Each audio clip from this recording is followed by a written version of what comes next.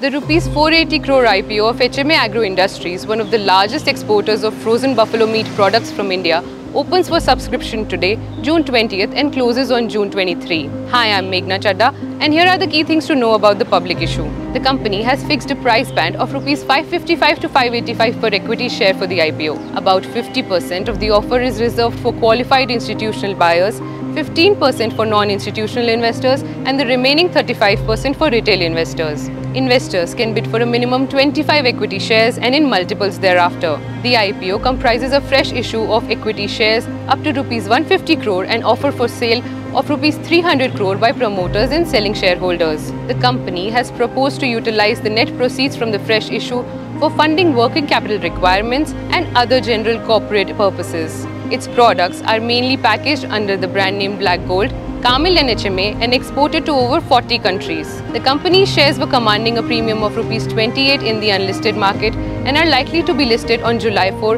at NSE and BSE. Talking about the financial performance, for the quarter ended December 2022, the company has reported a revenue from operations of around 2,370 crores and a profit of Rs 109 crore.